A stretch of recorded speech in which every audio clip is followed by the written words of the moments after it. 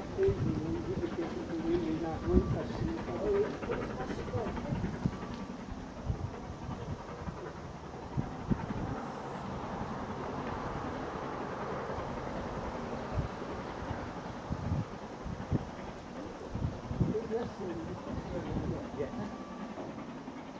week we were turning around in the uh,